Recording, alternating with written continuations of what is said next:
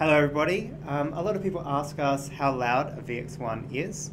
So we're doing a bit of an audio test today. I've got a Yeti Blue condenser mic and um, the recording output is coming out on my screen here.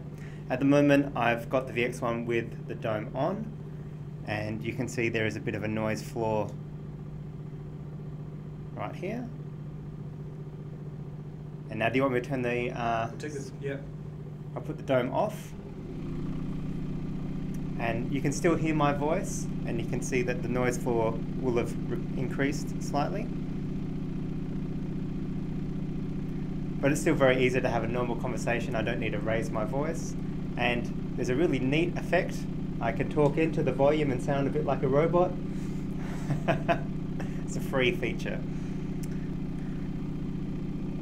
So that is now with the display off and this is just me talking over it so you can get a general idea of the level.